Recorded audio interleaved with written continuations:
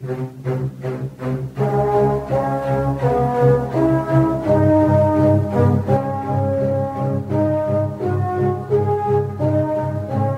Wałęsa był bezpośrednio zamieszany w zbrodnię popełnioną na księdzu Popiełuszce. E,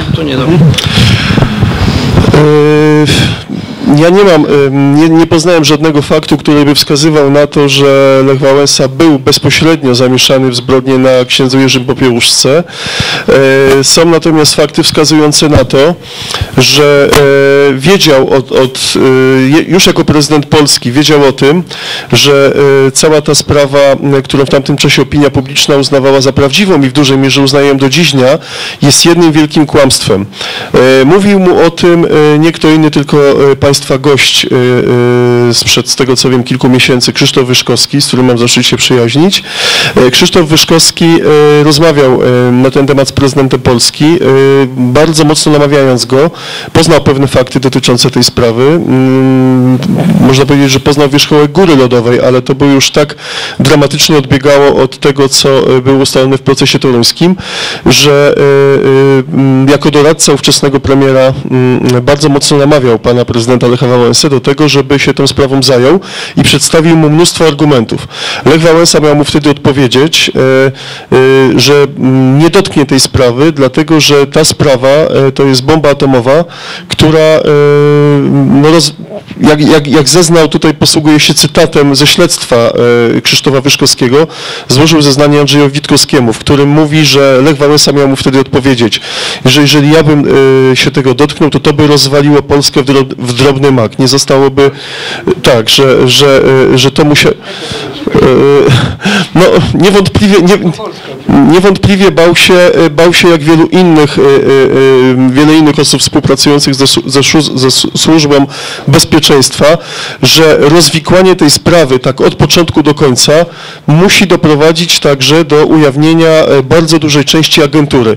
No a wiemy, kim był Lech Wałęsa, więc i na kogo stawiał, więc, więc z całą pewnością moja praktyka jako dziennikarza śledczego, który zajmował się między innymi tą sprawą bardzo intensywnie, e, na to, że w zasadzie wszystkie osoby, które mówiły mi nie dotykaj tej sprawy, nie dotknę tej sprawy, bo to jest zbyt trudne, albo nie dotykaj tej sprawy, bo ona zaszkodzi beatyfikacji, e, chyba wszystkie osoby to były osoby, które były współpracownikami służby bezpieczeństwa i które zniechęcając mnie do tego tematu, tak naprawdę broniły siebie. Broniły siebie, bojąc się, że rozwikłanie tej sprawy, która była powiązana z szeregiem innych spraw, no ja tylko, po, żeby Państwu pokazać te związki. Grzegorz Piotrowski miał pod sobą 200-osobową agenturę umieszczoną w kościele na Pomorzu. Grzegorz Piotrowski.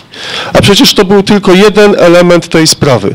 Więc tak naprawdę ten, kto wyjaśnił od początku do końca sprawę tajemnicy śmieci księdza Popiełuszki, już tylko weryfikując dokładnie Grzegorza Piotrowskiego, mógł ujawnić 200 agentów um- umieszczonych w kościele katolickim, a przecież to była tylko jedna osoba. A ile takich osób było? Stanisław Iwanicki, e, minister sprawiedliwości w rządzie AWS, kiedy zobaczył, jak bardzo interesuje się tą sprawą i że zbliżał się do e, wyjaśnienia pewnych elementów, wykorzystując to, że mieliśmy wspólnego znajomego, zresztą osobę, której wierzę do dziś, myślę, że zrobiła to nieświadomie, zbliżył się do mnie, proponując, że mi tutaj pomoże w wielu sprawach i tak dalej. E, Przeszliśmy na ty, E, ja i Stanisław e, Iwanicki przeszliśmy na ty. Z mojej strony była to gra. I z jego strony była to gra. Ja wiedziałem, kim jest Stanisław Iwanicki, e, on wiedział, kim ja jestem. Obydwaj udawaliśmy przyjaźń, podjęliśmy pew, pewien rodzaj gry. E, no, ja takie gry podejmowałem z wieloma e, oficerami służb tajnych i z wieloma innymi osobami.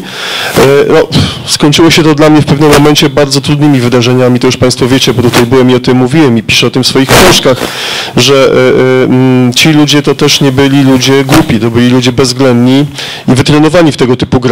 Ale pokazuję Państwu przez przykład Stanisława Iwanickiego, e, mm, jak, jak to funkcjonowało, tak? A kim był z kolei Stanisław Iwa- Iwanicki, jaka, jak ważna była i kluczowa jego rola. No, gdy prokurator Andrzej Witkowski w 1991 roku po, poznał, e, dowiedział się, że na miejscu uprowadzenia księdza Popiełuszki było sześciu oficerów WSW, czyli Wojskowych Służb Wewnętrznych, a WSW to jak Państwo wiecie był poprzednik WSI, to byli ci sami ludzie, tylko zmieniono nazwę. E, Poznał nazwisko tych oficerów, I ci oficerowie przesłuchani przez niego powiedzieli, trzech z nich, że jeżeli otrzymają gwarancję państwa, przynajmniej ze szczebla ministra, to opowiedzą całą prawdę o zbrodni na księdzu Jerzym Popiełuszce. Jak to wyglądało, kto to wymyślił, kto był na miejscu, kto współpracował i tak dalej. E, Witkowski pojechał z tym do Ministerstwa Sprawiedliwości, a wtedy ministrem sprawiedliwości był pan Chrzanowski, a jego zastępcą kto? Pan Stanisław Iwanicki. E, I dwa tygodnie później już tej sprawy nie miał. Odebrano mu ją, dlatego że był zbyt blisko prawdy. E, Więc to pokazuje, i to się działo w tak zwanej wolnej Polsce, tak? czyli już w tej trzeciej RP. Później takich sytuacji były setki. Były setki, e, tak zwani oni, ludzie, o których ja piszę w mojej książce, oni, ale ja ich konkretyzuję. Ja ich konkretyzuję. Ja nie piszę o nich enigmatycznie, oni tylko mówię o tym, że mordercami księdza Jerzego Popiełuszki byli Jaruzelski i Kiszczak, bo to oni tą zbrodnię wymyślili e, przy współpracy oficerów wojskowych służb e, wewnętrznych, czyli późniejszych wojskowych służb informacyjnych i pod ścisłym monitoringiem oficerów E, Tak to się działo i z całą pewnością e, e, ten, kto, kto, kto ewentualnie będzie miał ochotę sięgnąć do mojej książki, zobaczy, że, że to nie są słowa wypowiedziane na, na wyrost.